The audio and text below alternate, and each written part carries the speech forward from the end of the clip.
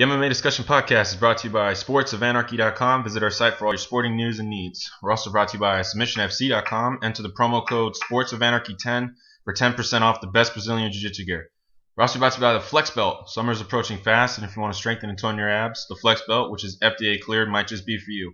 Follow the link in the description below to get your very own. The MMA Discussion Podcast is now available to listen to on iTunes, the radio uh, podcast app Stitcher, SoundCloud, all available for free on all smartphone devices. And uh, we also want to give a shout out to SoundCloud. Thank you for the uh, the hookup. Basically, I got to give them a shout out. 36th episode of the MMA Discussion Podcast. I am joined here with a very special guest, Saul Almeida, World Series of Fighting fighter, also former Bellator fighter. Um, we're glad to have you on, Saul. How you doing? Good. Thanks for having me on. Former World Series of Fighting fighter. oh, what's up with that? Yeah. I need to know about that. What's going on? What's going on with you? I know your latest fight. You had one World Series of Fighting fight. After that, um, you went in the dark, and we'd love to know what's going on with you. No, I mean nothing against them. I, would still fight for them if the opportunity arises, but it was a one fight deal, so technically, you know, I'm a free agent. Uh, so, you know, interesting. I am not opposed to fighting for them. But as of right now, I don't have any organization that I that I'm tied to. You know what I mean? Got you. Yeah. Well, I do. I, I, remember seeing an interview you did prior to the fight. You were hoping that with your victory um, over Chris Foster at World Series of Fighting 20, that you were hoping to catch the eye of uh, the UFC. I know that you're definitely interested in getting uh, making your way over there. Um, is that what you're hoping for coming up next? Getting an opportunity to fight there? Yeah, you know that's that's always been the goal, and I was hoping with a victory, maybe we can, you know, be on a good five fight uh, win streak and everything going well. Uh, doing what I did, it was I was able to meet a lot of people and you know get to know a lot of people. So I figured that that's a a way that you know might catch some people's eyes. So pretty much all I had to do was uh, win this fight and you know stay on track. So I was able to do that, and you know we'll see what happens, but um, talking to some people, so we just gotta wait and see what happens now. So you're just sitting waiting it out. If uh, if too much time goes by and World Series of Fighting offers you a fight, will you take the fight? I would. If it's the the reason I took this one it was at Foxwoods. It was pretty close to me. I could bring a lot of people down there, mm-hmm. and mm-hmm. the the opponent was somebody I wanted. I've been looking at. So yeah, I mean, if the opportunity comes and it's close and there's nothing going on, I'll definitely take it, just as I would take uh, Bellator. Where have you um, primarily been training these days? I mean, I have you here at, uh, you know, I know you train at um, out there in the East Coast of Massachusetts. I was wondering where exactly do you train at? Uh, Carlos Neto, BJJ, and my MMA coach. Uh, I have a couple, but right now I'm still seeing what I'm gonna do from now on. But the my brother uh, Samuel. He's the one that's been with me for all my fights. So he was with me on this fight, and right now I'm still looking to see where I'm gonna go because I've trained before at American Top Team in Florida and Black House MMA in LA. So I'm looking uh, to maybe go to LA and get some training down there. Also, because my manager is Ed Soares, so you oh, know wow. we, we have that that contact. But as of the moment right here, uh, right now in Boston, there's not like a, a, a real team, uh, MMA team that I train. I just uh, it's a BJJ school, and there's some MMA, but you know nothing that like at the level that I need. It's just not available right now, so I'm still seeing what I'm gonna do. Got you. Um, I wanted to ask you, uh, you know, get a little bit into your background. I was going to ask, you know, you train, you started training karate and jujitsu and wrestling and boxing all at a young age. I mean, did you know from that young age that this might be something you want to do when you got older? Uh, I mean, it's something that just it kind of it, it went with it. Like I started at age eight doing karate and doing a lot of competitions, then jujitsu. You know, I wrestled in high school so when I first saw it and like UFC and fighting, I knew it was something that was gonna translate well and that I was gonna be able to do and so I wanted to do because I, I love being I love uh, mixed martial arts and everything about it. So I knew eventually when I turned 18 and I could do it, it was just gonna be an easy transition. So yeah, from from a young age, I knew this was what I was gonna do. It's um, interesting. In your last fight, you know, it was very competitive, very close fight. Um, you know, uh, uh, looking at the judges' scorecards that um, are not judges' scorecards, I looked at all media scorecards. Um, by the end of that fight, did you feel you had won? Absolutely. Yeah. Uh, and the judge that scored against me was none other than Doug Crosby. You've heard about him. Right? Oh yeah, we've been hearing stories. He actually yeah. did a appearance on Chael Sonnen's podcast and just made an ass out of himself. So. yeah, I mean, I had no doubt that I had won the fight, mm-hmm. but what this fight is, I, I this is a fight that I wanted, and I thought stylistically would be good for me. Mm-hmm. But you know, to be honest, I, I didn't really train any MMA training for this fight, like not at all. Like a month out from the fight, I hadn't done like one sparring with MMA gloves or any like grappling with MMA gloves. It was strictly conditioning to stay in shape and dieting to cut the weight. That was mostly what I was doing. And with the world tour, yeah, I did train here and there with Aldo and his and his coach. They helped me, mm-hmm. but there was really no MMA training for this fight. So I kind of took a risk and relied on just the talent that I had and the knowledge that I had for all these years training. But you know that's that's a risk I took, and that's why the the fight was a little bit closer than it should have been. You know, I should have mm-hmm. made it look easier than than it did, and I should have finished him either by submission or ground and pound or whatever by the first or second round. So a lot of people see that and they just think, oh, that was a it was might have been a bad performance, a bad fight, or whatever they think. They're gonna criticize, but you know they don't know what's going on. So it is what it is, and at the end of the day, it's a win. My my assessment, particularly in the fight, was that you actually remained in great condition and uh, all the way for the straight 15 rounds. So what training you did do ended up paying off. I feel I think that you were able to outcondition him throughout the rest of the fight, and I did have you winning um, that on the judges' scorecards. It was just a very close fight, and uh, I've had a lot of debate with, uh, especially some of the uh, the uh, the other admins here over at the MMA discussion team. Um, but a well, a great performance in my opinion, and uh, you know, yeah, you won five straight. Um, you know, uh, you you seem very busy generally. You fight a lot, and I like to stay active. I'm sorry. I like to stay active and always keep fighting. I'm I'm not the person to fight one two times a year. Yeah, for to, to get it's definitely a, a, a, good setting right now to have over 20 fights with only with, with uh, uh, over the span of seven uh, years, and um, you know definitely the UFC could use somebody like that for sure, or Bellator. You know, you've uh, certainly shown that you're a high level fighter. Um, and I wanted to also ask you, you know, what, what is it you you uh you took to more so growing up? Was it karate or jujitsu or wrestling or boxing? What did you take more uh, liking to growing up? Uh, I think it was karate. I've always liked like striking and stand up. Mm-hmm. I mean, by the looks of my last fight, you, you, a lot of people probably would wouldn't look at it like that, but striking is something I've probably been enjoying more. And I started with karate, then I did jujitsu, but I took I started doing boxing when I was 16. I've had some pro boxing fights, never went amateur, and you know, uh, mostly some of them I did it, you know, for the money, just because of the competitive. But I, I took on like guys that were like 10 and 0, and like the the number one guys in the in the region, and I took them to like the distance and won. You know, there was one fight, it was six rounders. I won two rounds out of the guy, and they were like surprised and stuff. So, you know, striking is something that I've always liked. So I'm not uncomfortable anywhere in a fight. I like doing everything pretty much. Being that um, Ed Soares is your manager, have you ever thought of possibly competing at, at his promotion at RFA?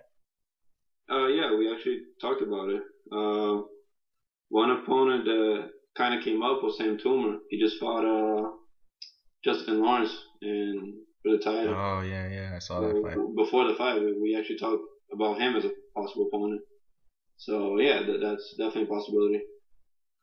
Um, you fought for Bellator before, but for each of those fights, were they also those kind of one one-off fights where they were just one contract signed, or? Uh, the first one was where I beat Tateki Matsuda, who's in the UFC now. Mm-hmm. Uh, the following one, we did a three-fight deal, and that ended on last February when I fought Angel Fisher from the UK. That was my last one. Um, what what is? They've been good to me. I'm sorry. Bellator has always been good to me. That's cool. Yeah, I was about to ask, like, um, you know, what, what, uh, like, how was your treatment there at Bellator? A lot of people always ask that, and so I feel like it's it's necessary to ask. You know, how how do they treat the fighters there? I mean, how do you feel like you were treated there and everything? Yeah, no, it was uh, definitely. You know, I, I had no complaints. I've always uh, dealt with Sam Caplan, Was not with them anymore. You know, he's always treated me fairly. Always, you know, gave me the fights I wanted, and meaning like gave me fights when they came around here to Mohegan Sun. So he always put me on the card, and so uh, they were actually gonna give me a fight that I wanted to against Kurt Pellegrino, but that ended up falling out. He ended up getting injured, mm-hmm. and you know what happened there. But so yeah, no complaints about them. World Series of Fighting, everything has been good so far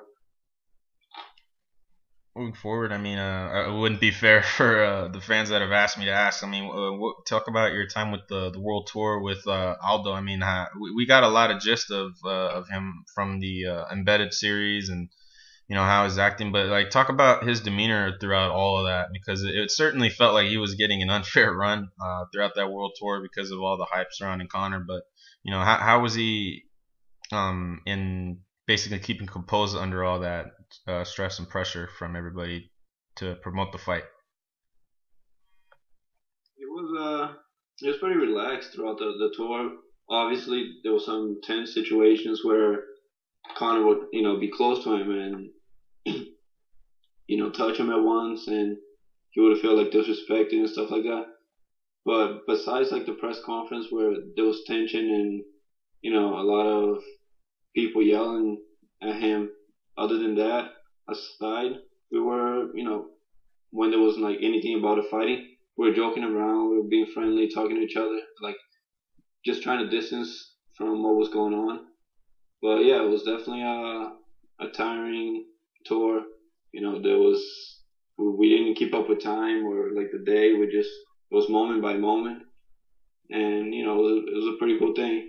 He uh he got you know he stayed respectful. He's a he's a he's a champ. He doesn't let that that stuff get to him. But you know some things like Conor said, you know there's just no way you can't like block it out. So obviously you saw that at the at the Dublin press conference. You know he got a little agitated and started saying you know something back at the at the stare down. He was yelling in Portuguese mostly, but you know it was some pretty harsh stuff. So he definitely kind of butted heads a little bit at the end. Mm-hmm. But you know that's you know it's gonna promote the fight. It's gonna it's gonna sell. But a lot of people saying it's it's all hype. It's all fake. It's definitely not fake. Like even when the cameras weren't around, and Conor used to pass by the hallways and stuff, he used to like look at Aldo, and Aldo used to stand up. So you can see that it's it's real. You know, Conor's crazy. He's gonna do what he what he does, but you know, Aldo just keeps his his cool and you know, just looks at, at another fight. From from our um, you know, from our point of view, it seemed, of course, that he did stay composed. And was there ever a time though where you know Aldo kind of got exasperatingly angry? Um, when they did a Good Morning Canada, and Aldo sat down, so Conor went behind and took advantage and, and kind of put his hands on Aldo. Oh yeah, the hand on the shoulder deal. Yeah, that was a moment that Aldo really wanted to do something, but you know, you, you know you can't at that moment. It was like ten seconds before going live. Yeah. So you know, Conor knew that and he took advantage of that.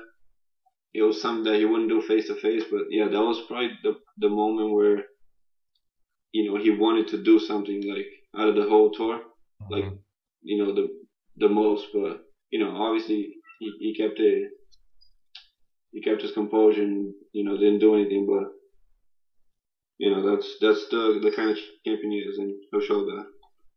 Gotcha. Well, we appreciate the questions man. We actually have uh, some fan questions after we announced that you'd be coming on the show. Are you down to do some of those? Yeah anytime. Cool. Um we'll go with the twitter ones first they're quicker. Yeah. And by the way when i said I, I'd, I'd want to slap conor and a lot of people saying, "Oh, try that, see what will happen to you." Uh. I'd I'd still do it. uh, I hear you, man. I mean, last thing here is that you know, um, and I think it'd be very uh, um, what's the word?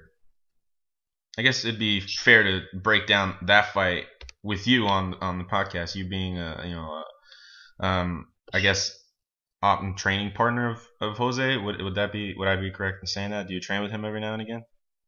Uh, yeah, and I plan to tra- uh, train with him uh, soon, probably May or June. Go down there. So yeah. Cool.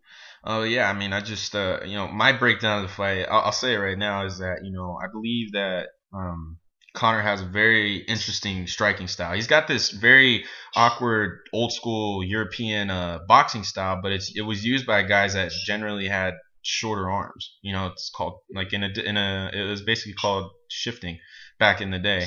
Um, as opposed to what shifting is now. It's uh his is very old school, but he also utilizes kicks and you know it's a very interesting style that barely anybody in MMA that I know uses it.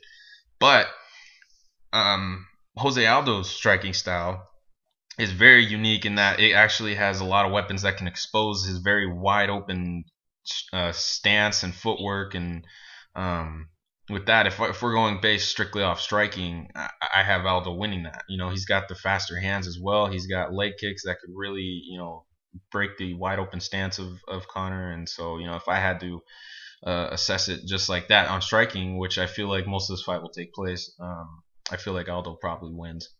Um, would you be? Uh, what about you? What do you think happens in that fight? Uh, Despite your bias, I just want to hear. Yeah, no, I, I mean, Conor has a, really good style to give a lot of people problems. So, mm-hmm. not being biased, like he, I think he will present a, a couple problems. But the thing is, from what I've seen, Aldo's gonna have counters for Al, for McGregor's like the stuff that he does best. I think Aldo's gonna have counters for that, mm-hmm. and I think that's what's gonna be the what what Conor's gonna have the most difficulty like dealing with is gonna be the, the counters. So not going in it too much. I, I just I think it's gonna be a, a, close fight for a little bit, but at the end, I, I see Aldo winning. Same, and more so just because you know I think that as far as uh, the longer the fight goes, I think uh, Aldo uh, has somewhat of an advantage so long as he's able to keep his tank in check. Um, but yeah, I do believe it'll be a very exciting fight. You know, Conor presents a striking style that very few possess, and that'll certainly be hard to you know crack uh, as far as the puzzle puzzle of his striking goes. But I believe that Aldo has a tool, so yeah, I kind of see him winning that fight too. Um, yeah, just seeing him train, like he's just he's an animal. Like his kicks are extremely hard. He's super fast. Oh, they look like it. Yeah. It's it's. Uh, I was like blown away. Like, and with yeah. all the you know with all the intensity of of uh, of promoting this fight that's gone on thus far, it should definitely be uh, exciting uh, fight to watch. Yeah, um, yeah. Let's get back to you. Let's get on these fan questions. Um, we got a guy. It's Halfrey. if I said that wrong, I'm sorry.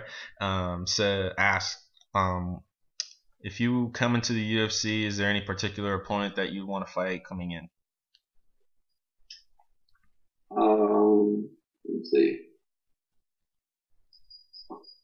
No, not nobody comes to mind but definitely, you know, some some some good guys that will be like exciting fights. But no, nobody comes to mind. But I don't want to be fighting a lot. Like if if I do come in and I don't want to be fighting a lot, like outside the top fifteen, like say three, four fights.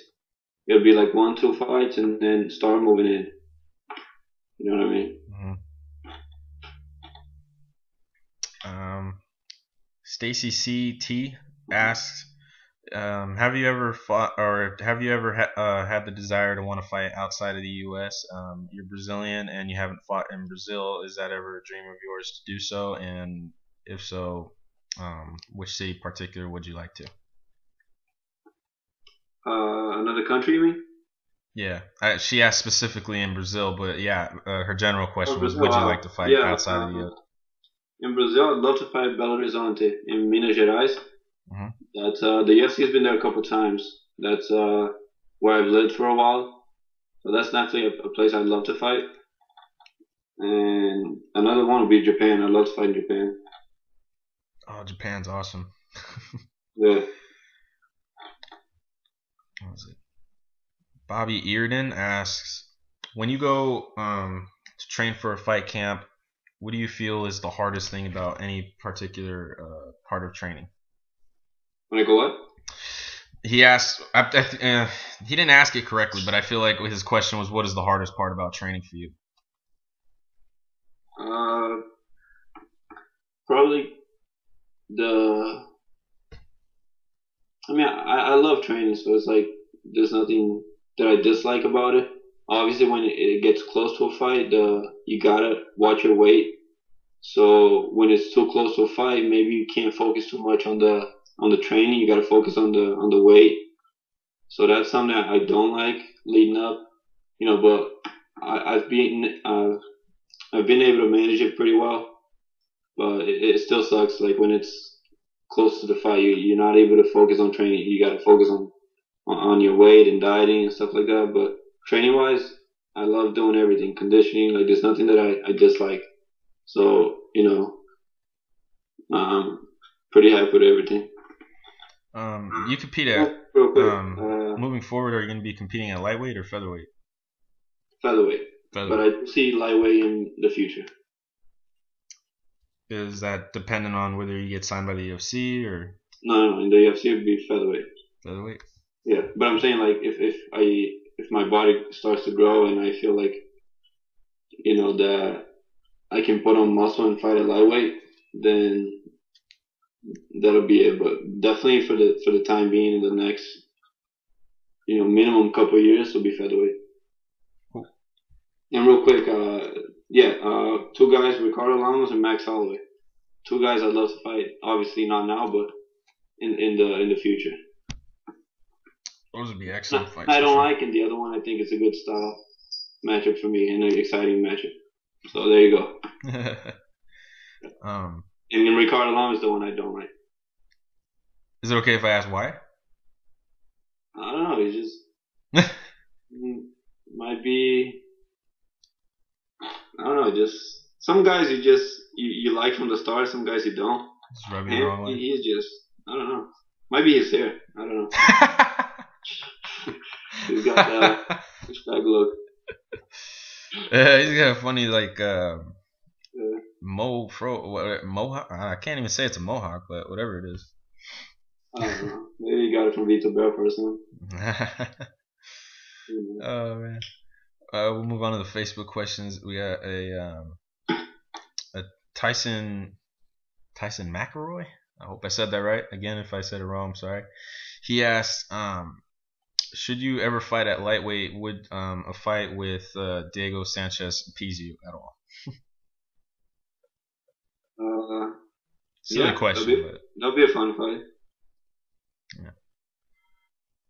all right. And we have a I actually want to see him fighting uh, one of my friends, Joe Lauzon. That was supposed to go down. yeah, that was supposed to go down in the Mexico card last year. So Yeah, Yeah, he's actually supposed to come back from his shoulder injury sometime soon. He's had the surgery. He's been out for four months since.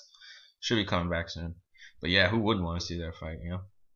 You know, but he, I, I feel like he's on the decline. So, Yeah. but obviously, by the time I get there, and if I go to lightweight and he's still fighting, you know, it wouldn't go very well for him.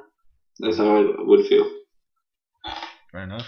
Have you trained with uh, Joe Lauzon much? Being out there in the same similar region.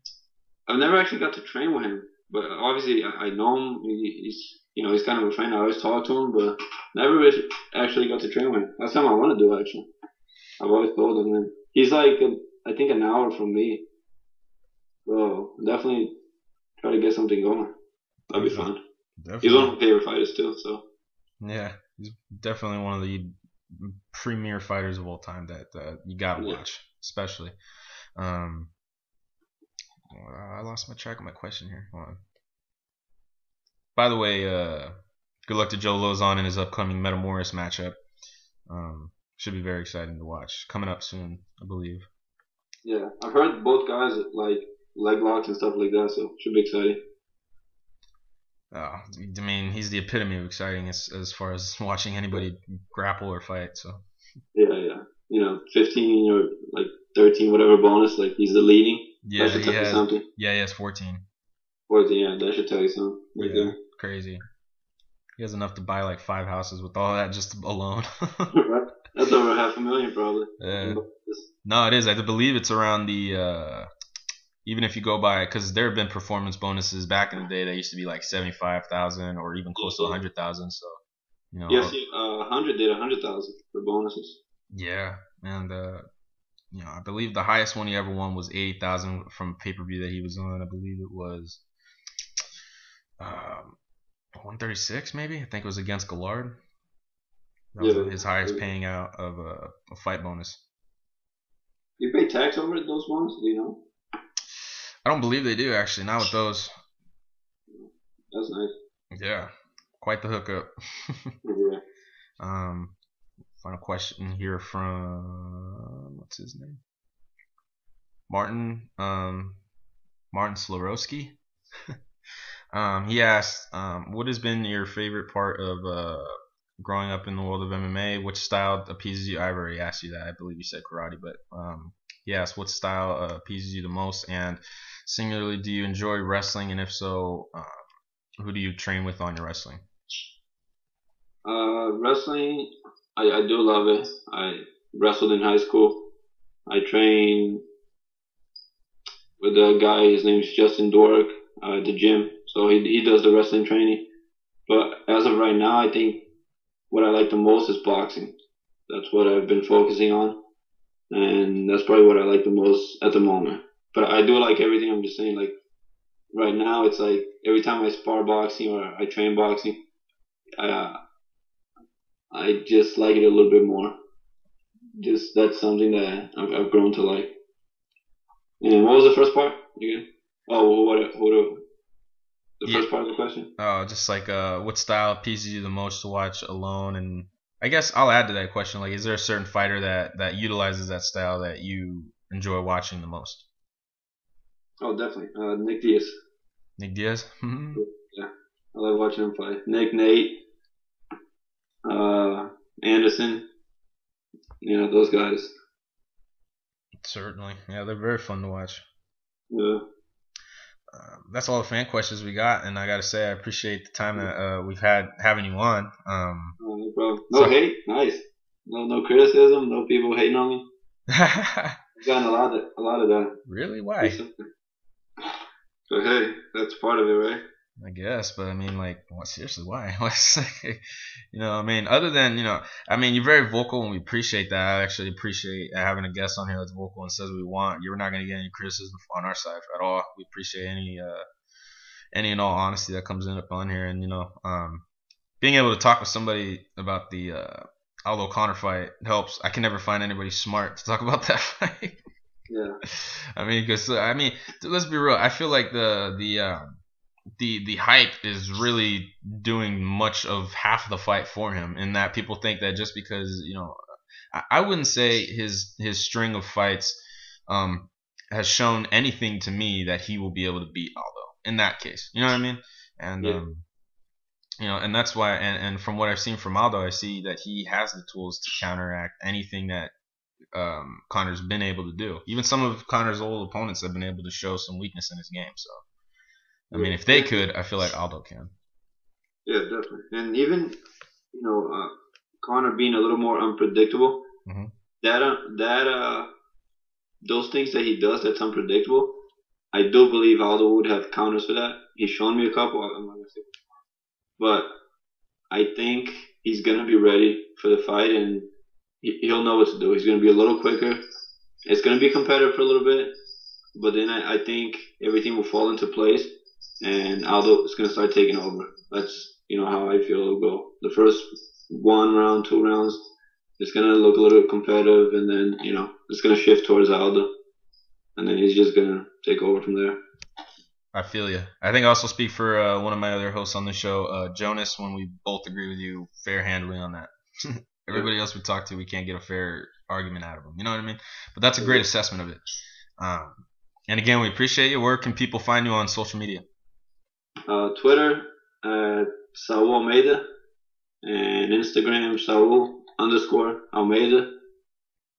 Uh, Facebook Saul Almeida. There's a fan page. There's a friend page. Uh, just look me up, same name. Awesome. Well, Talk to me, whatever. I'm down. Awesome. Well, um, Mr. Almeida, we appreciate the time. You've been an amazing guest. We love talking to you, and hopefully, we'd love to get you back on here again next time we do. Hopefully, you're a UFC fighter by then. Oh, thank you. I appreciate it. My favorite inter- interview so far. We appreciate that, man. And uh, yeah, again, let us know um, uh, if you get a fight lined up. If it's in the UFC, we'd love to have you on here again to talk about that fight. Definitely, we'll do. I got something planned for this weekend, early next week. I can't really talk about it, but I'll keep you updated. You'll be the first to know. Awesome, dude. We appreciate you, Saul Almeida, ladies and gentlemen. We appreciate your time, man, and uh, can't wait to have you on again. You heard his, uh, you heard his spiel. We can't wait to see you. Featherweight, correct? Yep. Uh, it's gonna be awesome. All right, right thank you. And that was our special guest, Saul Almeida. I want to thank him again for coming on. Terrific interview. Uh, appreciate having him on. And I am now joined by my co-host, Chris Pagman. What's up, man? Yeah, what's up? I'm really bummed out that I missed that interview and couldn't join on, but shit happens. Yeah.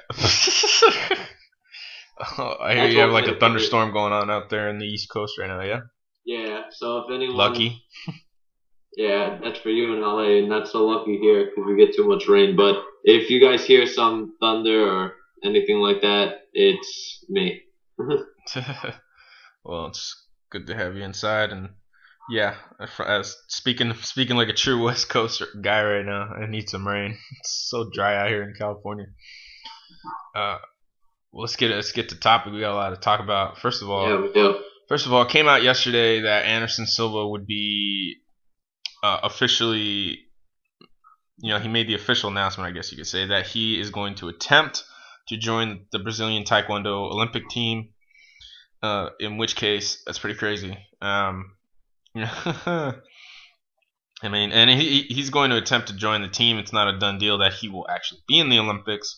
He's got to join the team first, which by itself is already one of the toughest things you can ever possibly do.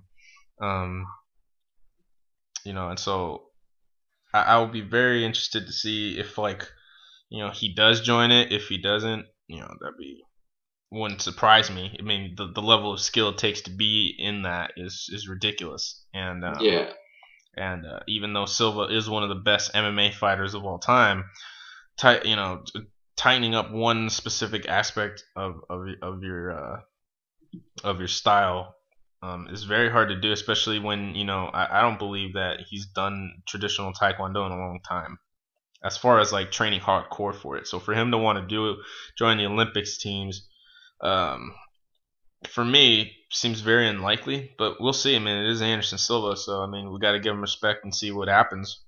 Yeah, I, I tend to agree with you there that it is very unlikely that it'll make the team itself, let alone compete in the Olympics. Um, like you said, I gotta agree with everything you said. The the training that goes into that is ridiculous. He's also 38 now, 39. Is he older mm-hmm. than that now? I'm not even sure. 39. He turns 38 this month. 38. No, no, no. Actually, his birthday. What's today? The 20, no, it's, his birthday is 40. Dude, he's 40. He's 40. His birthday is um, April 20, 14th. This this podcast will be out tomorrow, which is Thursday, the 23rd. His birthday is April 14th. Oh, I thought it was 24th. Yeah, no. So he I, just turned 40? He just turned 40, so right. that's going to factor in to that. He probably realizes that he won't be able to fight MMA for a while, despite the fact that he doesn't think he failed this drug test. So, mm-hmm. I mean, he probably will be out for a while.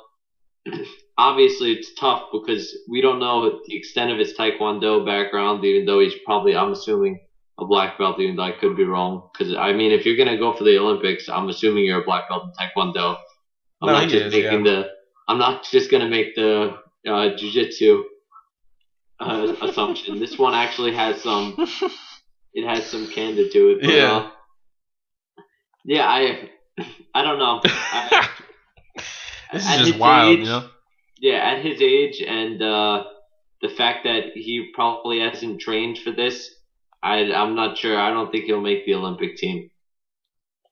We'll see. I don't want to make a judgment call on it yeah. yet, but of course, of course, I tend to lean towards what you're saying, though. You know? Yeah, you have to give him the respect because obviously he's that good. But I I agree as well. We I don't. I think it's very unlikely. Mm-hmm. We'll see what happens. Good luck to you, Mr. Silva, Mr. Goat. We'll see. I don't know. Moving on. Yeah, not, not much to say about that one. hmm Moving on. Quinton Rampage Jackson is back again. this is very interesting. Um, apparently his uh his court order injunction got reversed, which I don't understand at all. Yeah, either do I. I mean, I've done my I've done my due diligence and research on this, but you know, the judge from the Superior Court of New Jersey's uh, Appellate Division overturned Bellator's injunction yes or not yesterday, Tuesday, um, which allows him to compete against Fabio Maldonado at UFC 186 this weekend. Which good for the card. Um, Steve uh, Boss, I hope I said that name or Bose, uh, I think it's boss. Boss, um, was supposed to fight Fabio in um, in a you know in a quick you know turnaround for uh, Rampage getting taken off the card, but will receive his show money and hopefully get a fight in the near future. I was interested in seeing him fight after I had done some research on, on him and got me a little excited to see him fight. So hopefully we'll see him fight uh, sometime soon. But it's good that the, the card gets Rampage back. Especially on short notice like this, when people start hearing about it, because you know then you start to you know get the gauge of oh wow Rampage is back on, you know all of a sudden that excitement factor comes back, and I like it. So for me, I mean, what what do you think about this? Yeah, I mean, I wasn't really too excited about uh, Steve Boss. It, it is pretty cool that he was a minor league enforcer in the NHL, and apparently he beat the crap out of some dudes back then. But it's a lot different in MMA. Obviously, he has a proven record of ten and one. And uh, as for Rampage and the whole injunction getting overturned, I really am. I'm kind of confused on it because I haven't really seen too many sources coming out and saying too much about. It. Maybe the UFC is greasing some pockets or some wallets there. I don't know. No, I'm just joking about that, but I just joking. But you're trying to get us shut down, son. I don't know exactly how that worked out. That Bellator won the injunction and then it gets overturned. I really have no clue. Um, I mean, it helps the card. Yeah, it, it gives uh back Maldonado versus Rampage, but in my opinion, the card still isn't pay per view worthy at this point. It's like with Rampage on the card, it kind of looks like a decent, like a low tier Fox card, I guess, or a decent Fox card. Not much more than that. How dare you? All right. Anyway, uh, I'm you know, I uh, I really want to be able to. I'm always excited to see Demetrious fight. I'm one of the very few, but apparently that makes me in love with this card. but I lo- I do uh, want to see this card. Luckily, I don't have to pay for it, considering as you and I were talking about, I had a deal with somebody and I ended up winning it. oh, nice. Yeah. So, with that being said, um, I really am excited to see Rampage come back to the UFC to see how he does. You know, obviously this is his first fight back, so he's he's uh he's getting kind of a I wouldn't say a handout, but you know, cause Fabio Maldonado, you never know if that uh, what that guy could do. I mean, he, is a, he's a he's got a very um, un- underrated striking game. I mean, that is his bread and butter, and he loves to trade with guys. So regardless, I think it'll be an exciting fight to watch no matter what. So. Um, and of course, I'm I'm excited to see Demetrious fight. And uh, while we're on the topic, um, you know, I uh, Demetrious Johnson came out and said something out in the media that I thought was very. I mean, he put it better than he he he spoke on terms that I had been wanting to say for the longest time. You know, and um, and I didn't know how to put it into words. And then he took the he basically took that concept concept and put the words incorrectly. And this is his quote quote of all the sports this is the only sport where scrutinized where it falls all on the athlete. Why does it always come down to blaming the athlete for not selling the product? Um, and that that to me just hit me. I was like wow. I mean that could not be a more truer statement to me you know because and again he goes on to say you know when i got in this sport quote when i got in the sport i thought all i had to do was beat people and finish fights and everything else would take care of itself. And he's right you know Demetrious has done nothing wrong. He's every time he goes in there, he puts out a bomb ass performance. He beats guys. He's dominant. He takes everything to um you know to the nth degree when it comes to being a flyweight. He's fast. He's strong. He's athletic. He's technical. He's per- nearly perfect at everything. And um, you know, uh, for me, it, it really hit me like, yeah. I, I mean, I never thought about it as we were, you know, scrutinizing the athletes, but I guess we kind of are because of the fact that you know NFL is popular because it's everywhere. You can see it, and you don't talk mostly about the athletes. You talk about where you'll see the fight, how you'll see the fight, or I mean, how you'll see a game, where you'll see a game. You know, and uh, you know, it's never on like the the the exact player that you're going to watch. I mean, for some people it is, but you know, again, for fighters it sucks because you know it is. You know, for boxing, the most of the fights just sell itself. Boxing sells boxing, but for MMA, it's most of the time it's the fighters that sell MMA. And I mean, I guess in, in a, to to another um, in another argument, I guess it makes sense because you know, I mean, it's such a different sport from everything else. But at the same time, I feel like it's still a little unfair when it comes down to you know a card like this that has exceptional skill and talent on the card, but because of it also having what a lot of people would say isn't exceptional talent and skill on the card, that comes down to you know the the punishment of the card itself when the fights itself could be arguably some of the best we'll ever see, you know, and um, you know, I know that we've had our, our argument about this card being that you know you want to you want to compare it to the that of a Fox card or a Fight Night card, but uh, other than that, you know, I I I feel like this is perfect um, wording for a problem that I don't think can ever be fixed, but you know, it's just kind of how it is. I mean, what are your thoughts on that quote from Demetrious? I mean, I somewhat agree with it, but I don't fully agree with it because you have to look at it this way. Uh, football, as used as an example, it's been around forever. It's a team sport, and I mean, people have their team. They root for a team. That's kind of the point. It doesn't come down to an individual because it's not an individual sport. It's a lot different. Where in MMA and even in boxing, it's an individual sport. You're going out there competing by yourself, and you're not on a team. I mean, yeah, you train with a team, but when you're out there, it's just you. So, of course, when you when you look at boxing, is the boxing going to market? I don't know. Let's say a fight between. I, I'm not even sure. I don't know too many boxers, but I know enough. By Miguel Cotto versus Amir Khan. I'm not even sure if they fight in the same weight class, but I know they fight somewhere near, near each other, and that could happen.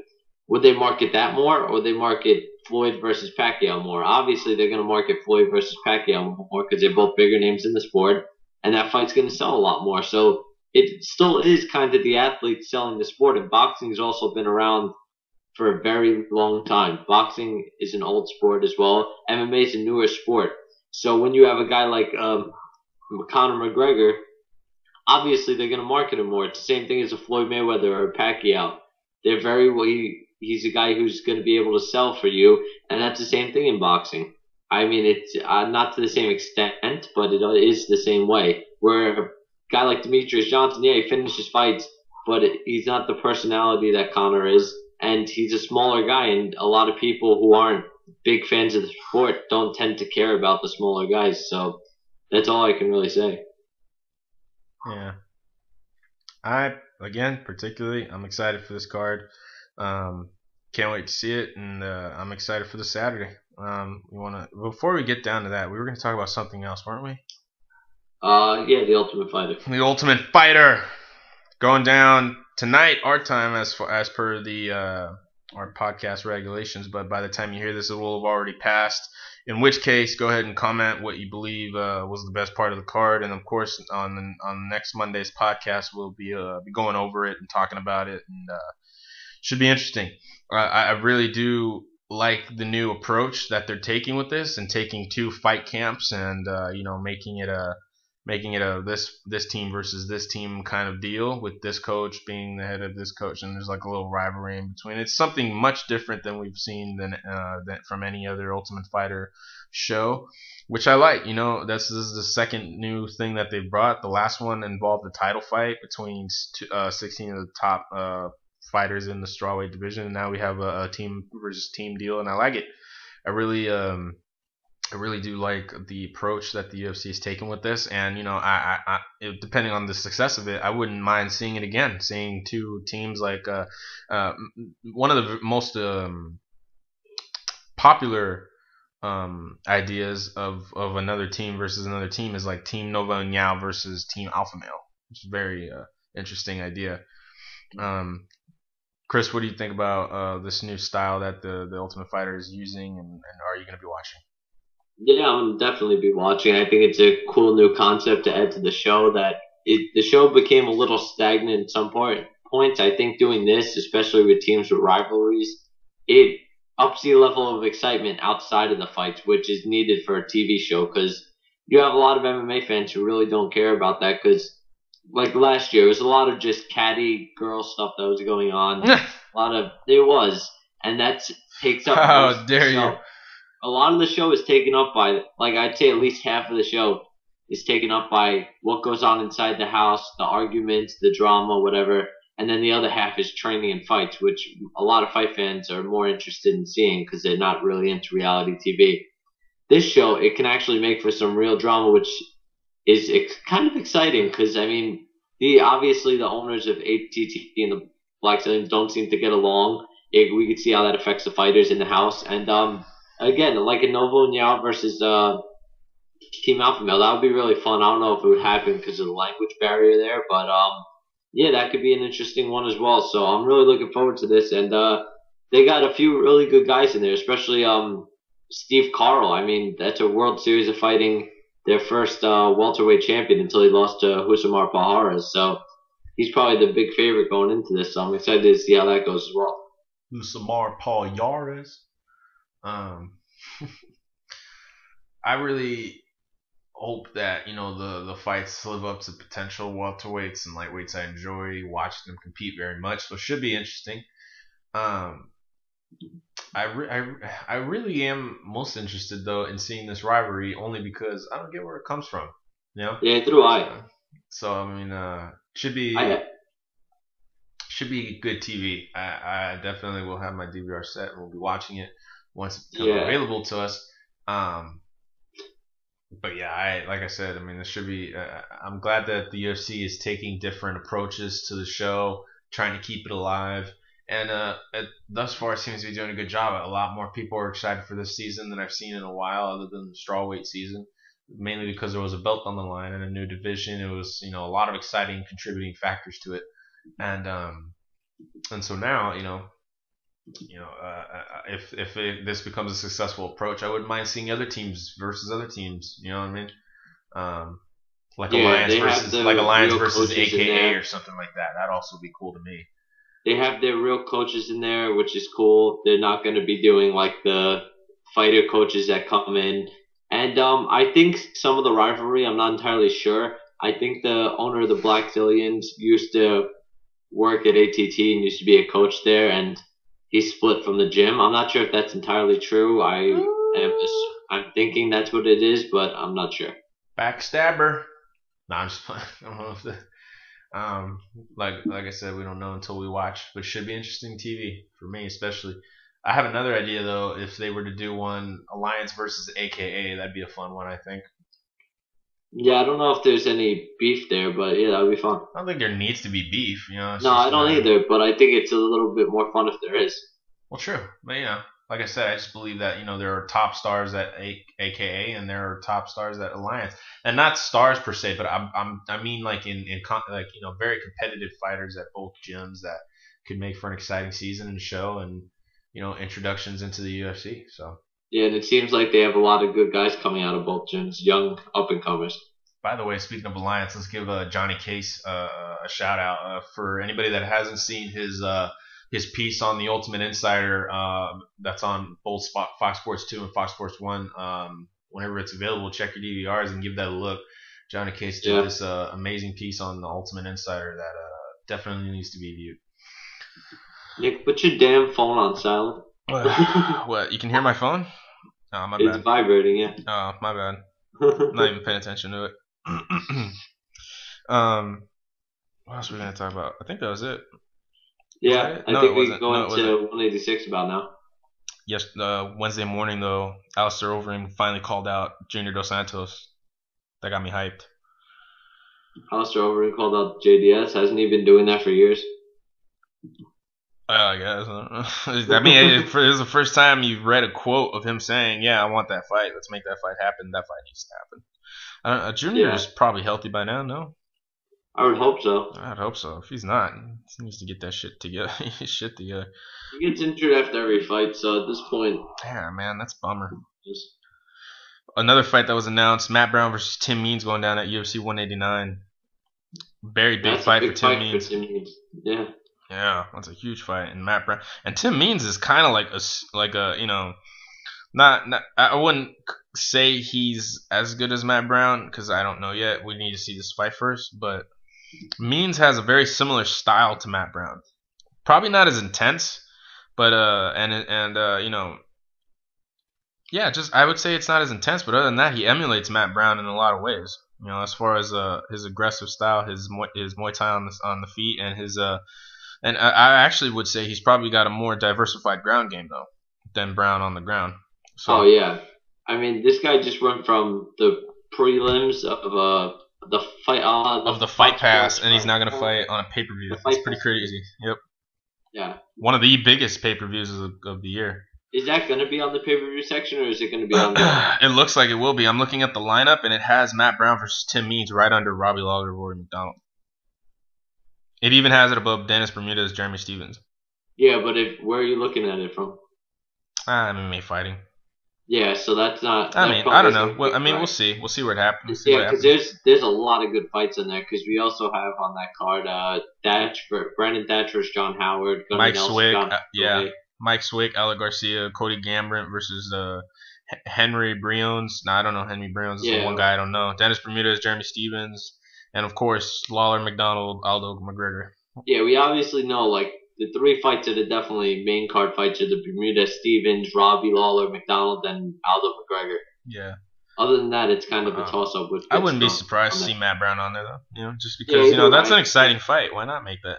I, I think they probably throw. Uh, if anything, that should be the prelim main event, like the the head of the prelims.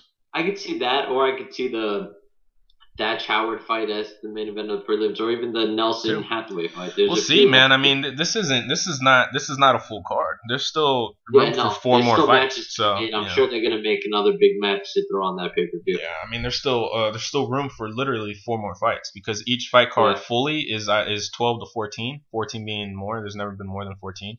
Um, but generally they're 12, so there's still t- four more minimum uh, fights that they need to make for this card. So, you know, hopefully they're good ones, which I can see them doing. I mean, this is a huge card, and uh, we talked about Phil Davis going to Bellator in the last one, right? Yeah, we did. Yeah. All right. Uh, one more fight that was announced: Husamar Paul, Har- uh, Palhares versus Jake Shields will headline World Series of Fighting 22, August 1st, um, in Las Vegas at where will it be? Let me look.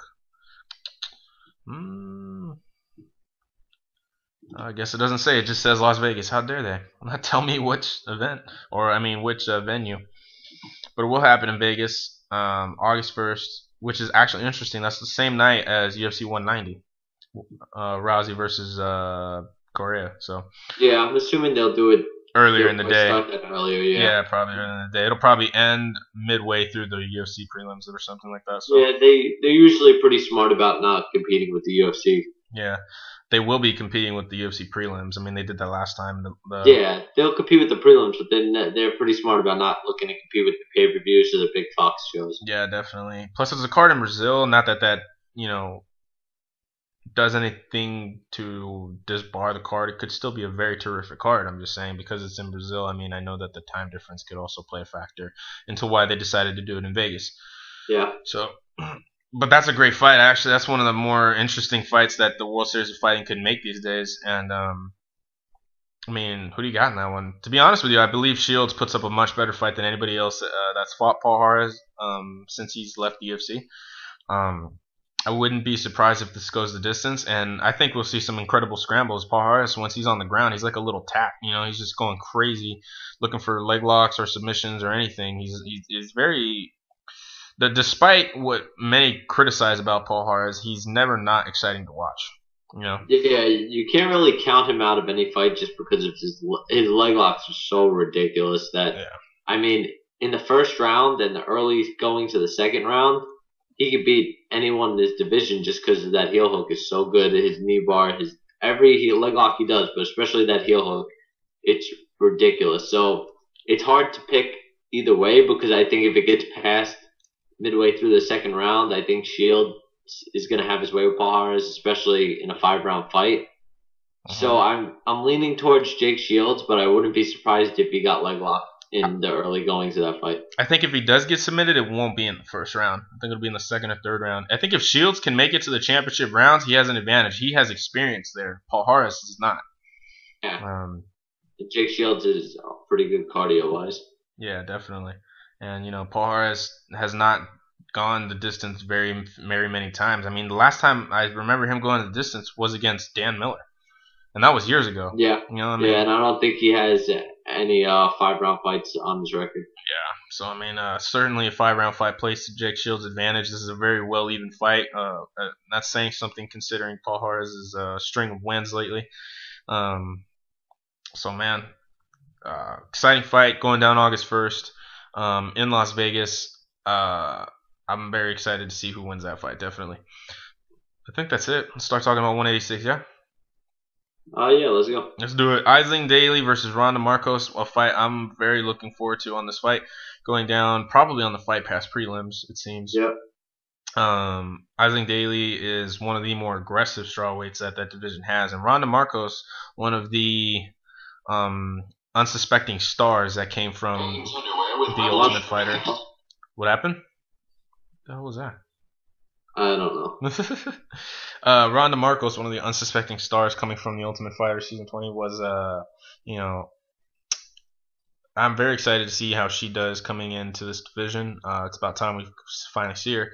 Um, who do you got in this fight? I honestly want to pick uh, t- more towards Aisling Daly um, just because I feel like she'll use her size and and uh, advantages on the ground. Ronda is also uh, somewhat of a, a, a, ground fighter as well, so you know it could be very close. But I, I'm edging Daly barely because of her size. Yeah, yeah, I think uh, Randa's I, I Aisling's a little bit well, a lot more experienced. As she has 20 fights in her professional career, Randa only has six. And uh, yeah, I'll agree with you because uh, I think Aisling's pretty good on the ground, while Randa showed some good things on the ground against Jessica Penne in the Ultimate Fighter finale. But um, I think we could see Aisling maybe get a submission here or take a decision. Uh, I don't know too much about either girl, so I wouldn't be too surprised to see it go either way. But I'm gonna go with Aisling.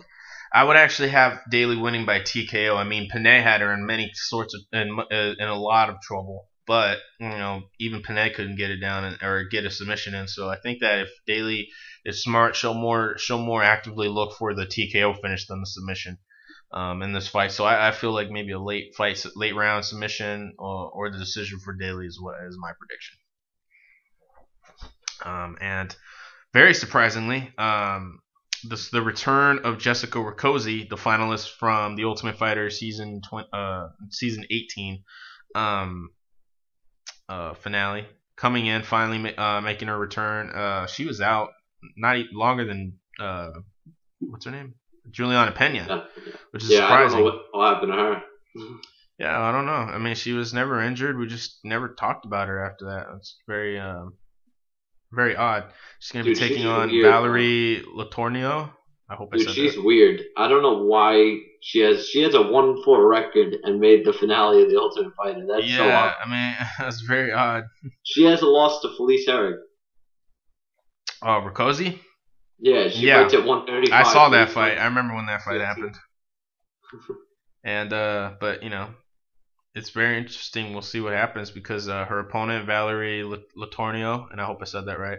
Laterno. Laterno. Yeah. All right. Um, are you sure? Yeah. All right. I don't know how to speak the the Quebecian uh, French ish name. Yeah, so. well, I've just heard it before. Huh?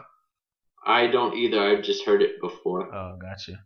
She's actually very experienced. Her opponent, uh, Valerie, who's fought Kaufman, Alexis Davis, Claudia Gadelha, Roxanne Modafferi, which is, that's interesting. She's fought 135ers, 115 pounders, and 125 pounders. She's been all up and down the spectrum in her nine fights. Because yeah. uh, right right now, Roxanne is a 125 pounder, Claudia is a 115 pounder, and uh, Alexis Davis Kaufman are a 135 pounder. So that's very interesting. Very up and down the spectrum of divisions she's fought. Um, how big is she? She's actually fought, her very first fight was actually at 150 pounds. Oh shit. but she's uh, now going to be at 135. I would believe that she's allowed her weight to really kind of uh, you know excel there at, at, at bantamweight. So we'll see how she does. Um, it's kind of a hard fight to call. We don't know what Rakoczy's been up to uh, in her time off, in her absence. She's now 38 years old. Um, you know, so it's very uh, I don't know. We'll see what happens for the former boxer, but uh, she certainly has the odds stacked against her. I believe if if, if she loses this fight, it'll probably be it for her uh, UFC career. Yeah, that's most likely what's going to happen. And uh, looking at Letourneau's record, she seems to she's beaten a lot of girls, and then when you see the big names like Gadelha, she lost to by split decision, which is kind of impressive, even though she is fighting 20 pounds heavier. She lost a split decision to Alexis Davis and uh, TKO to Kaufman, but her wins seem to come against a lot lesser known girls. But I'll say this: she is more experienced, and I think I think she'll get the win over Rakoczy. Well, I'll stay. Uh, I'll stay safe away from this one. But if I had to pick a winner off the top of my head, I will go for the more experienced girl who has fought against high competition before. Yeah. Regardless of win or loss, so we'll see what happens. Uh, but yeah, I gotta agree. I'll probably go with Valerie, but I will be rooting for Jessica. Um, so with that being said, we'll move on. Chris Clements going against Nordine Taleb. Now, Chris Clements is very uh, experienced um, thus far in the UFC, already having taken on some some uh, some good names, if I recall. Let's see, yeah, Stephen Thompson and Matt Riddle uh, fought, uh, you know, some very tough welterweights. Has also fought in his career, uh, John Alessio and Rory Markham, and a lot of guys that have competed in the UFC, and he's actually won against a few of them. So, uh, Nordine Taleb, I don't know too much about this guy. Do you know? Dude, I don't know what to make of him. He was on two seasons of The Ultimate Fighter and lost in both. Really? And then he'll like he has fights. He's two and zero oh in the UFC, but lost on two seasons to The Ultimate Fighter. He was in the house for the Australia versus Canada Ultimate Fighter. I think he lost in like his second fight, and then he went for the Ultimate Fighter season 19. I think I don't know what season it was, and then wound up losing. I think in the I don't even think he made the house in that one. Damn. I think he got injured in Australia versus Canada. Dana gave him another shot on season 19, and then he just lost the first fight. So and then he gets two fights in the UFC, wins them both. Are Don't you sure he didn't? Are you sure he didn't win and got injured and then got another opportunity? That sounds like somebody that I remember. Um, I think he wound up losing a fight where he was injured, so they gave him another shot on the American Ultimate Fighter. But the guy has two wins in the UFC, but hasn't been able to win an Ultimate Fighter. It's a little odd, but uh, yeah, I guess he doesn't do well in that format. And then Clements, I've seen him fight a few times. I don't know too much about him. I mean, I've seen him fight against guys like, uh, as you said, against Wonder Boy. They both have a, uh, they both have a win in common over Vic Grujic. Uh, Taleb beat him back on the Bisping versus Kennedy card by decision, and Clements wound up beating him by a first round TKO. I'm not really sure what to make of this fight. I don't know too much about either guy.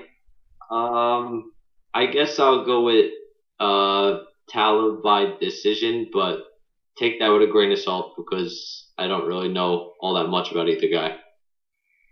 Hmm. Next fight, we also have David Mitchell versus Olivier Aubin Mercier. Hopefully, I said that right. Do you think I did? Aubin Mercier, I think. Oh, I was trying I'm to not be fancy. Sure, it's another Quebec name. Yeah, I was trying to be fancy. Um, it's a dope name. Olivier coming off of the uh, Ultimate Fighter losing to Chad Lepre, but then has uh, beat Jake Lindsey at the Saffiedine MacDonald card last year. Um, I don't know. Uh, we'll just yeah, go through a quick scrum of this. I honestly think Olivier will probably win um, based on his skill level that I've seen thus far. So, with that being said, I think that he wins against David Mitchell. Who you got? Yeah, I have um, Aubin Mercier as well.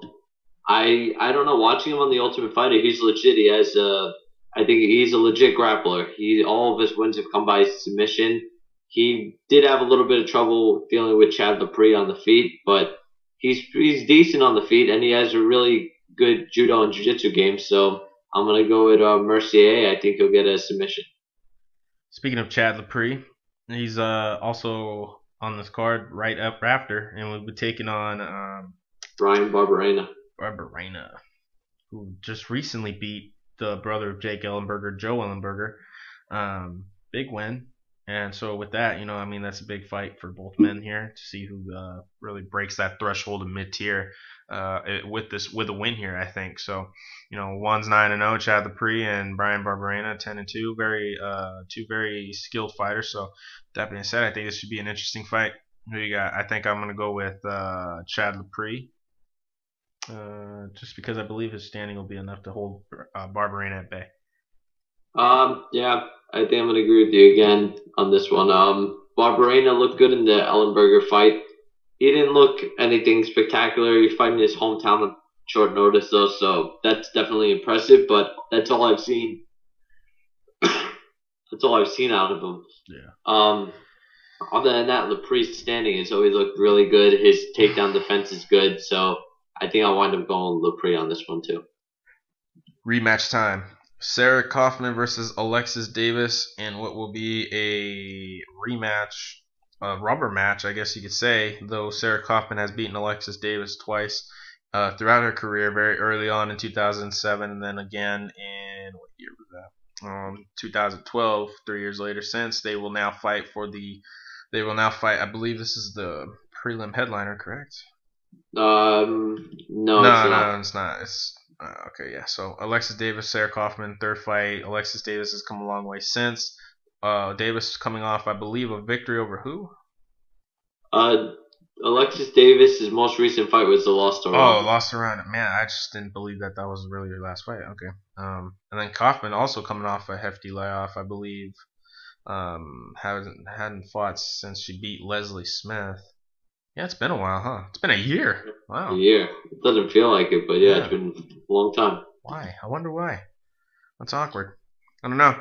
But, you know, Sarah Kaufman uh, and Alexis Davis have some beef. Let's see what happens. I honestly can't see Kaufman losing this fight. Her striking is still as dangerous as it ever is, and Alexis Davis is still very, uh, um, still not the best in that category. So that being said, I think Kaufman is able to fight off any takedowns that Alexis throws her way, and Kaufman shoves them off, keeps it standing, and wins where she's comfortable. Gets probably the decision here with uh, with another uh, dominating victory over Alexis Davis. Yeah, and their last fight wound up being a majority decision. I see this being a scrap, but uh, I think Kaufman's good enough to defend the takedowns. At least uh, she'll be able to defend the takedowns of Alexis Davis, as Davis isn't really the strongest top game in her jiu-jitsu. She does have good jiu-jitsu, but her top game isn't anything special, and she her takedowns. She's never really been the most aggressive person shooting takedowns, and then uh, Kaufman's gonna get the best of her on the feet, as you said. So I'll go Kaufman by decision. I will say the most impressive win on Alexis Davis's record right now is Amanda Nunes, who she beat in Strikeforce four years back. But yeah. Amanda Nunes that at that time was only 21 years old, so yeah, she made a lot of improvements since then. Very. Um, with that being said, yep, we're going to go with Sarah Kaufman. We'll move on to the next fight. The headliner of the prelims, Joe Diesel. Riggs taking on Patrick the Predator Cote. Uh, I actually like this fight. I think it makes a lot of sense right now for where both guys are at.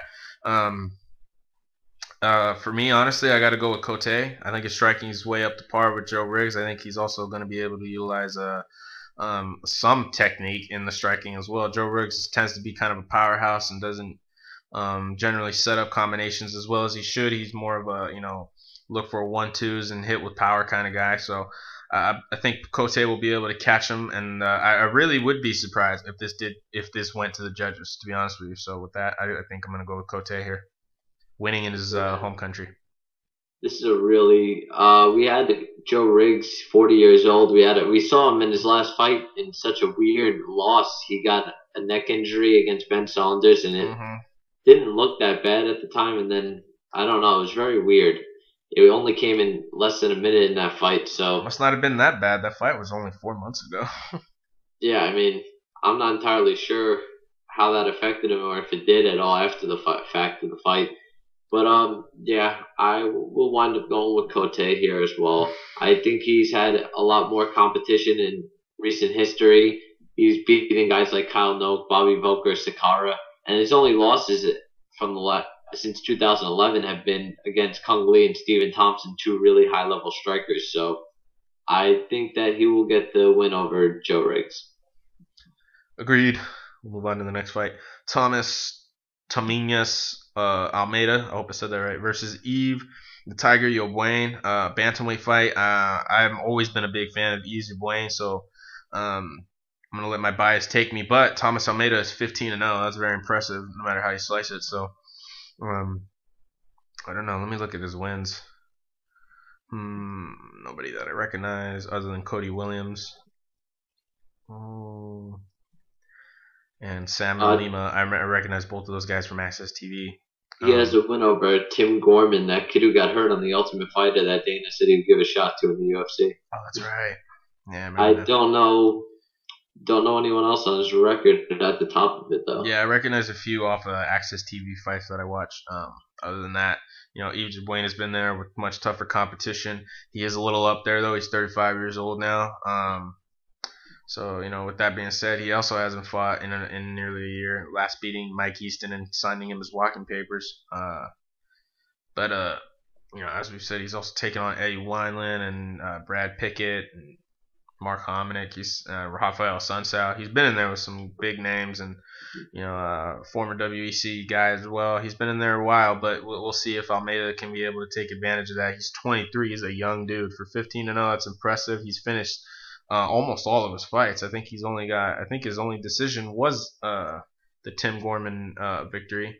Looking at his record, yeah, that was the only yeah. decision. So according I mean, to Sherdog, he's actually 17 and 0.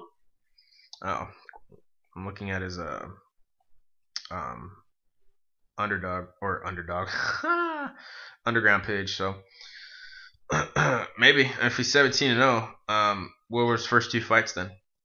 Um, it says Danilo Molina, oh. uh, first round armbar, and Jorge Fernando, first round armbar. Yeah, Jorge Fernando uh, is missing. Uh, though Danilo Molina is in there, so there might just be another fight missing from here. So yeah, I'll go with Sherdog then. 17 0, still impressive. Uh, yeah, 23 years old. That's a lot of fights. This is a tough one to call then because uh, it's a young stud with a impressive record versus uh, an old experienced veteran in Yves Ybuen. Um, I think I'm gonna go with the young gun here. I mean, the, they've been making a lot of upsets lately, and so with that, I'm gonna go with that. I'm gonna go with Almeida getting the upset.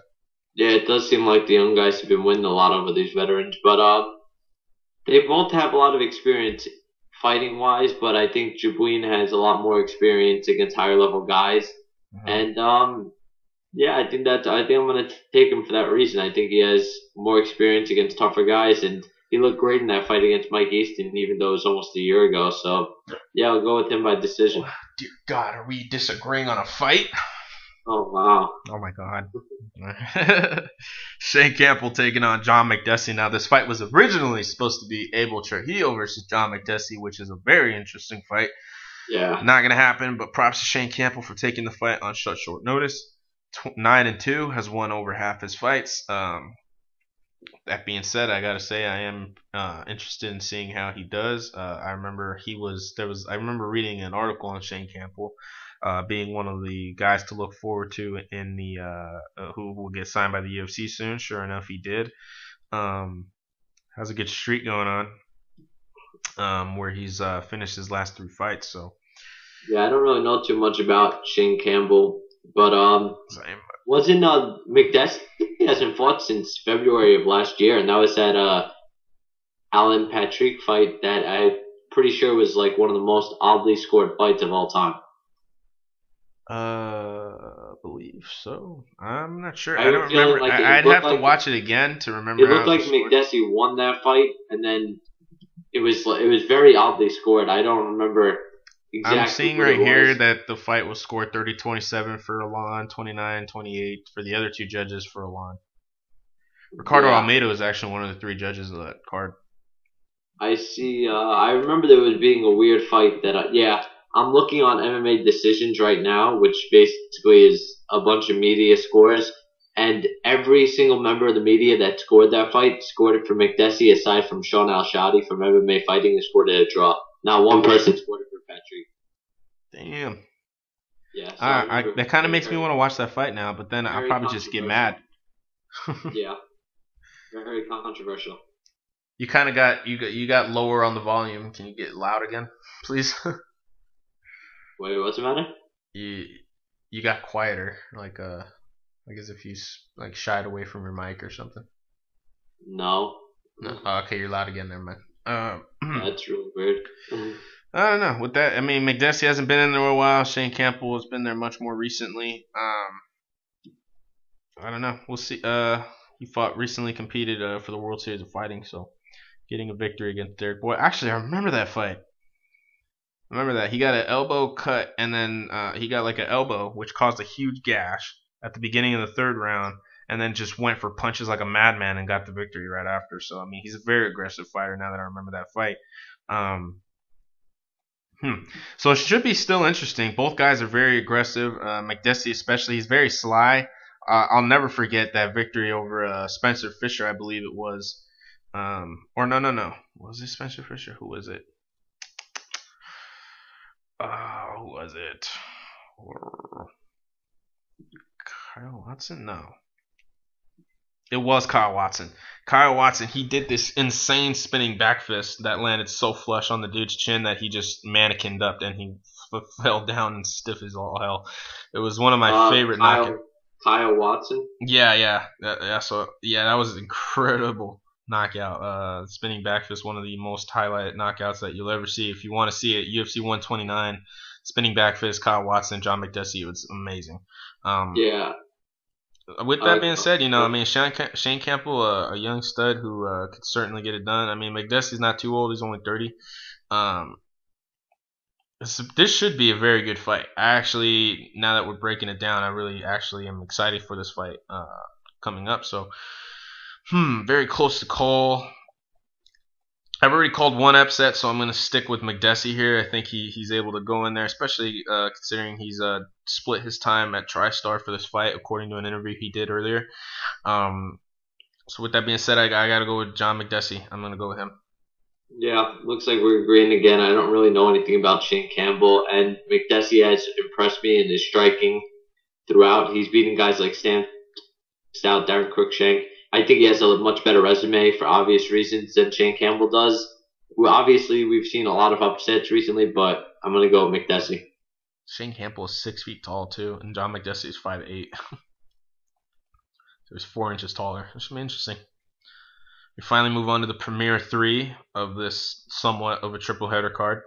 Um, CB Dollaway, the Doberman, taking on Michael the Count Bisping. Both guys in need of a win, coming off loss. Uh, Michael more so has come off two losses, one to I believe Tim Kennedy, and then the other to Luke Rockhold. Correct? Am I right? Oh no, he beat Cung Le in between those, so he's intervaling between win and losses in his last six fights. So he's three and three in his last three. Um, actually, he's four and four in his last eight. um, so that being said, I mean, it should be interesting. Huh? Did you say something? No. Oh, okay, yeah. Um, I actually feel this is a much closer fight than it looks. Mm, I don't know. I think if Michael loses this fight, though, it's such an important fight for him. I think if he loses this, I think any title hopes. I think he's strictly gatekeeper if he loses this fight. Yeah, I mean, I don't think he has too much title hopes and aspirations at this point, just because he's been back and forth on wins and losses recently. I mean, he lost to Luke Rockhold. He seems like he the furthest he'll get back to, and especially now he's out of his prime. He's a little bit older now. He's 36. The furthest he'll get is maybe top five at this point. He has the loss to Rockhold, Kennedy, and that Kennedy fight really showed a lot. He had a lot of trouble defending Kennedy's takedown, but I think he'll be able to defend Dollaway's takedown. Bisping is really hard to get to the ground and to keep there. I think he'll pick him apart on the feet, and I'm going to go with Bisping. Um, I don't know if he'll get the finish there, but um, I yeah, I'll go with Bisping by I'll call it TKO round two. I don't think Bisping gets the finish here. I will agree with you on Bisping getting the win, but I actually think that if this fight goes one of two ways, Bisping wins by decision or CB Dollaway gets a finish. Uh, it's very hard for me to call any other way. Um, CB Dollaway has got some heavy uh, punches, and uh, I believe anybody from Power MMA that includes Bader or uh, you know, anybody else that's been over there thus far training in Arizona, I gotta I gotta say CB Dollaway seems to have made the most improvement with his hands. Um, so I think his striking gives uh, Bisping a run for his money, but I think Bisping will be able to land more punches and outscore him with his uh, outstanding cardio and uh, and he'll be able to get the decision, or CB catches him uh, and gets the finish. One of those two things is going to happen. I think the more likely thing to happen is probably Michael Bisping, so that will be my final answer there for that. Yeah. I get why I get why you're saying that uh, CB is more likely to land that one punch knockout, but again, I, I think that's a little a little odd. I mean, I I could see your point of saying that he has more power in his punches, but Bisping is obviously the more technical striker, his cardio obviously plays a huge role into the way he's able to fight.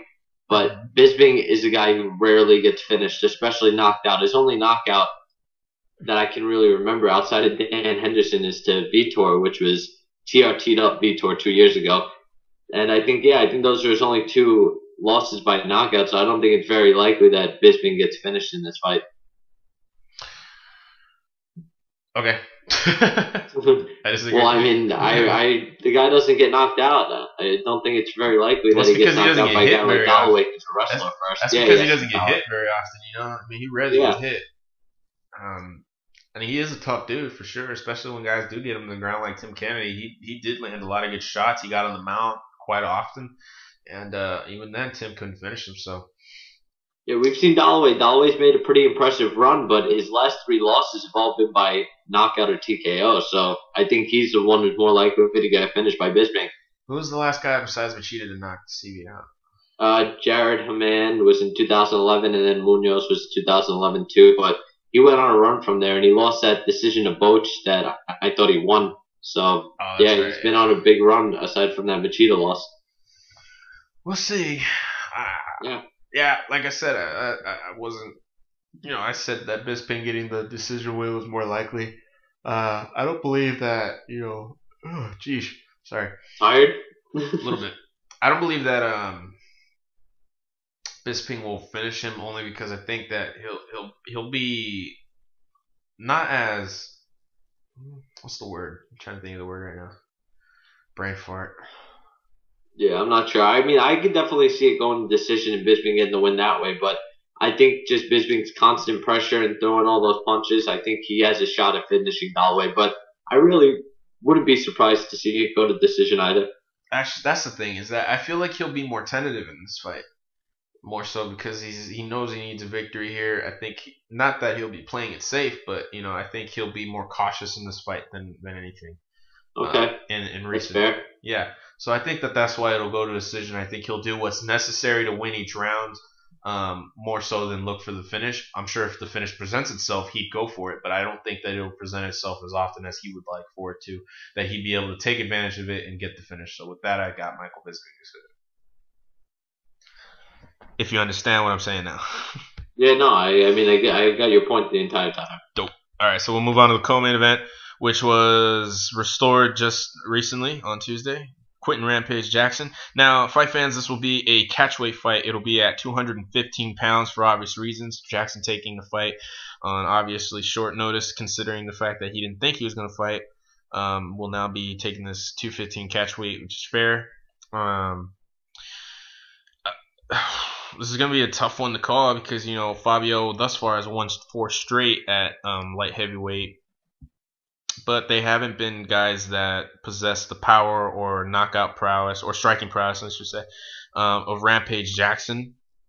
So it should it, it should be a very competitive fight. I, I know if anybody knows Rampage these days, he loves to just stand and trade with guys, and Fabio Maldonado is certainly one of the guys that's more than willing to do that with him.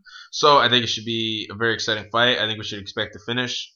Uh, and for me, I'm going to go with Rampage. I think that you know the the fact that he's reinvigorated his career over at Bellator and gotten some finishes lately, and um, you know I, I would like to think that he's taking this fight more than seriously.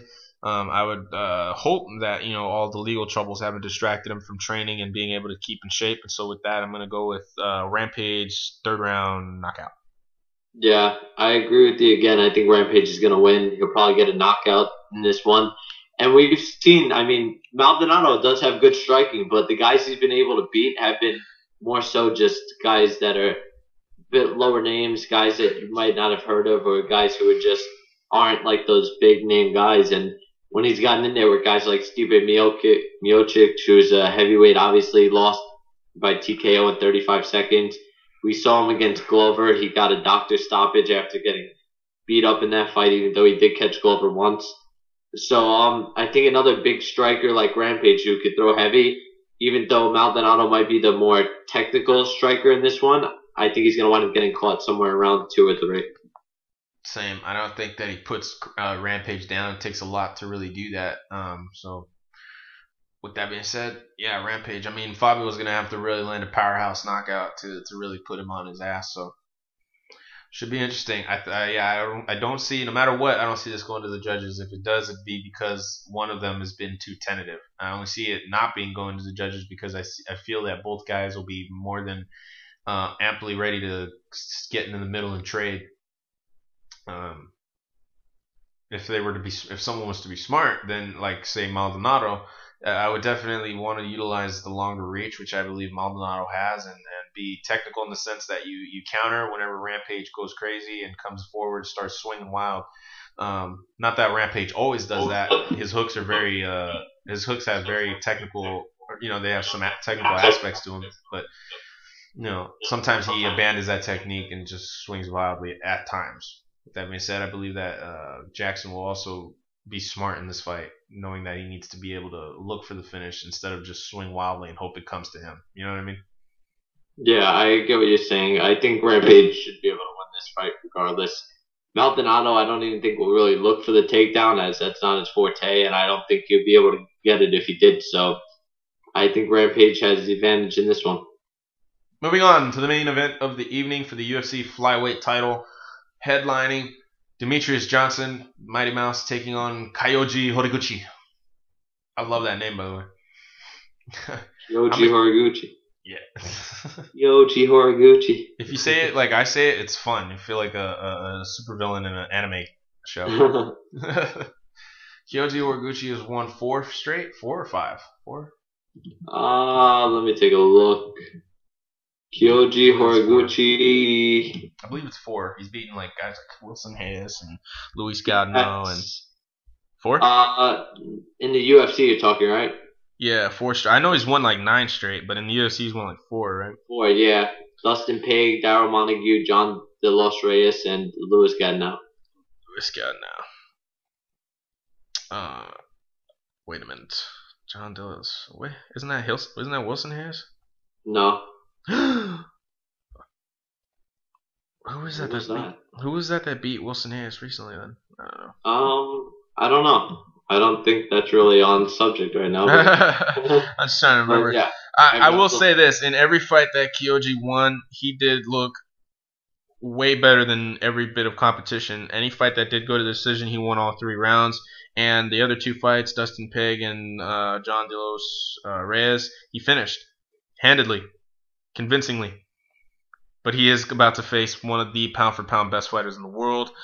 Um, he's very fast, but not as fast as Demetrious. And uh, we haven't seen enough of his grappling game to know if he can stop the takedowns of Demetrious. And let's be real, Demetrious probably has the best takedowns um, and the best level change in the flyweight division with that being said, I got to say that Demetrious will probably take full advantage of his of, of his uh, ability to, to you know change levels and be unpredictable and get the takedown and basically dictate the pace of this fight throughout all 25 minutes. Um, I actually see Demetrious Johnson getting it to the ground, finding a rear naked choke in the third round. That's my prediction. What do you got?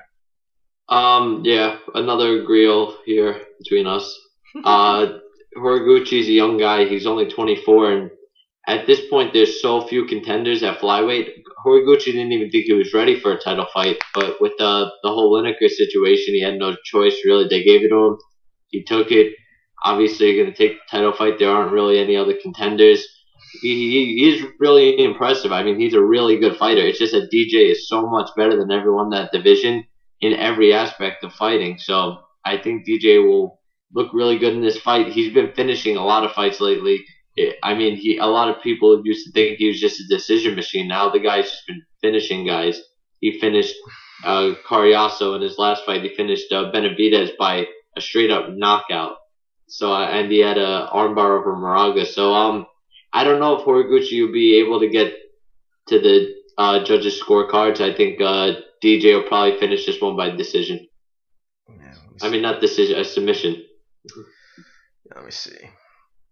Thus far in the UFC, one, two, three, four, five, six decisions. One, two, three, four, six decisions and four finishes. It's not bad for DJ. Yeah, and I mean, yeah. And especially he, considering his, his, competition. You know, his submission, his finishes have come recently. He's finished three of his last four fights. Yeah, against uh, Cariaso, Moraga, and Benavides. especially the Benavides one is my favorite flyweight knockout. Um, uh, so uh, other than uh, most recently the the guy uh, Freddie uh, Freddie Freddie Freddie Nunez, the Brazilian guy who got that insane wicked uppercut at the last Brazilian event. The oh yeah, I know you're talking about. Yeah. I just don't know his name. Those it's between those two for my favorite knockouts in flyweight history. Um, yeah this would be an awesome fight. I can't wait to see it. I, I, mean, I love watching Demetrious go to work, which is why I have been excited for this card, regardless of, of the injury plague that it's been littered with.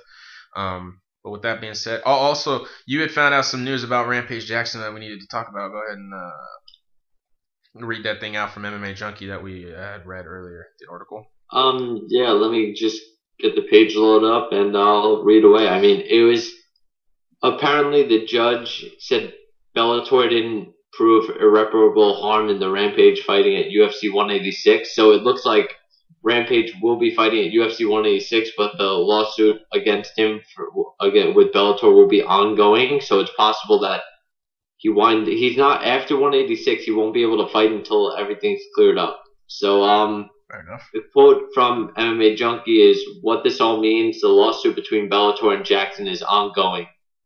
Uh, the injunction keeps Jackson from fighting at UFC 186 has been set aside, and Jackson currently remains under general preliminary injunction from fighting for any MMA promoter with the exception of UFC 186. Um, from there, it says, it is apparent to the court that the injunction of the merits of the parties' respective claims and defenses will require factual determination. Unless there is a settlement between the parties, the court will need to rule whether Jackson was in breach of contract or not. And if the court later finds Jackson was in breach with Bellator, Bellator can be awarded damages for him competing at UFC 186. There are still a lot of legal battles before this case is put to rest. Well, that means Bellator is going to let the UFC play their hand in having Jackson compete for them, but it it um it's a gamble for Jackson considering if he loses this uh, this hearing or the, this court. Um. Oh wow. Okay, but let me finish.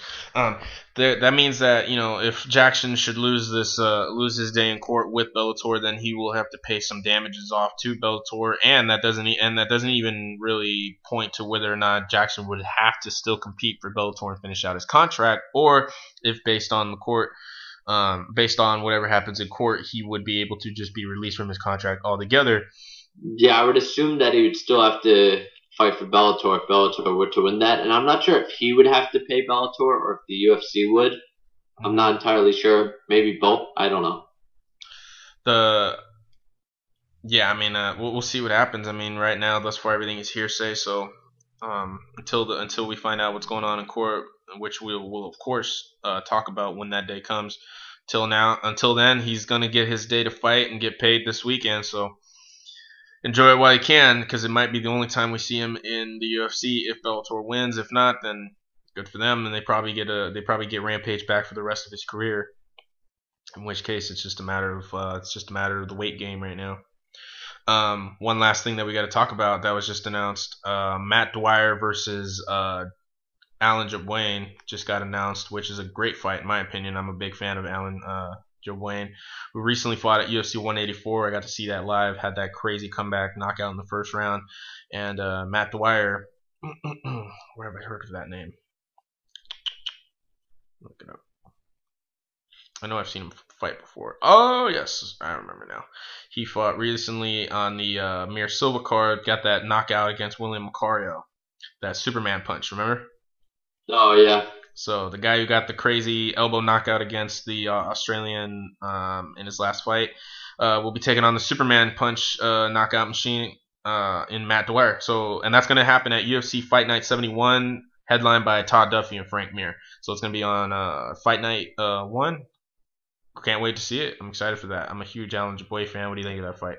Yeah, me too. I really enjoy watching Alan fight. He's been really impressive and I think he's a big. He could be a big star in the sport.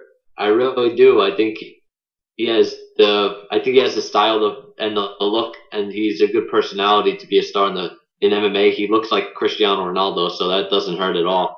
mm-hmm. But um, yeah, and we also uh, just had another big fight announced. Apparently, uh, UFC on Fox 16 just got another big fight to it. Uh, Danny Castillo versus uh, Rustam Khabilov. Woo! That's a good one. I like that. Yeah, that's a pretty good card so far. UFC on Fox 16. Definitely. We've covered a lot of bases today. There's been a lot of news I've been hitting since we last talked on uh, Sunday. Uh, yeah, I mean, there's just there's been a lot of fights made in the last hour. Yeah, awesome. Fight fans. UFC 186 going down. Fight, uh, fight, uh, blah. The prelims, of course, will be on at 5 p.m. Pacific time, 8 p.m. Eastern time on Fox Sports One. Pay per view going down at 7 o'clock uh, Pacific, 10 o'clock Eastern. Uh, exciting card. Please watch it. You're not gonna regret it. I believe this card will be great. Um, despite what Chris Pacman says. Um, no, I think it could be exciting. I just don't think it's high level MMA, at least for the most part. I disagree. I disagree with you a lot. I actually think that Shane Campbell, Almeida have the, the chance to really shine and show that they are high level fighters. And, um, They're not pay per view level fighters at this point. Maybe it's early to have them on pay per view. I agree. At this point. At this point, yeah, it's probably a little early to put them on pay per view. I agree with it's that. a lot early. it is. You dirty whore. All right. Anyway, this guy I've never heard of fighting on the pay per view. Come on. It's a. It's a. Maybe you're just ignorant. I've heard of him. Shane Campbell, yeah, you've heard of him. I've watched him fight. I saw his yeah, last fight. I've watched him fight once at World Series of Fighting. The guy hasn't even fought for the UFC yet, and he's fighting on a pay per view main well, that's because card. well, that's and he's that's due star. to injuries. He's not a big star. I know it's due to in- injuries, but that still has a lot to do with how good the card is. But that's it's but that's a I but that's attributed to be because very, of the injuries. I think it would be very easy for them to throw Alexis Davis versus Kaufman on the main card and take that fight and put it on the prelims. I agree with that. I think that you know because especially because they're ranked fighters and uh, you know it, that's still card, the card would look a lot better if they did something like that. I agree. I think that they keep them on the prelims just because they want to also up the uh, viewership on the prelims as best they can. Um, all right, I think we're. I think that's all, all we got. Yeah. I have some fake, uh, some fan questions, but they can wait till the next episode. It's been a minute. All right, no worries. Yeah, and uh, now that we're done with that, we're actually going to introduce your buddy. What's his name? Uh, yeah, uh, Extreme Cage Fighting president. Uh, he's an amateur promoter out here in New York.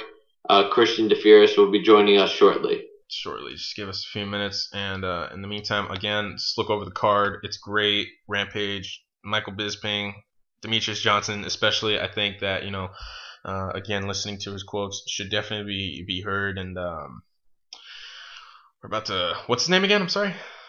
Wait, what? Your your promoter friend? Christian DeFieris. Okay, I was just looking at his thing.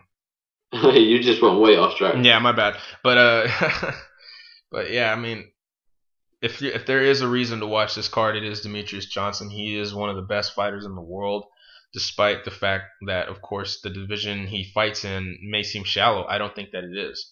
I think that it's filled with some very competitive fighters. Kyoji Horiguchi himself is that was one of those fighters. Um, Demetrious is so well above and beyond. He's basically the Ronda Rousey of his division in that people want to say that that division is also shallow, and it's not. the The division is very packed and you know uh, filled with uh, credible fighters. And uh, you know, of course, there are two really exciting ones going on next month: John Dodson versus uh, Makovsky and Benavides versus Moraga. Um, three of which uh, Demetrious has beaten, and yet people know that those are two exciting flyweight fights to watch. And so um, we'll see what happens. I honestly believe that John Dodson, should he win, will probably get the next title shot against whoever wins this fight. So. Um, and with that, we're going to go ahead and close this bitch out. With that, we're going next week, Monday, episode 37 of the MMA Discussion Podcast. Packed episode. Beneil Dariush, UFC lightweight, who just recently got a victory over Jim Miller at UFC on Fox 15 last this past Saturday, will be joining us. Um, very excited. That's a huge guest to have. We're also going to be joined by um, your buddy, uh, XFC. Uh, yeah, we're going to be joined by uh, Extreme Cage Fighting President Christian DeViris. He runs an amateur promotion out here in New York.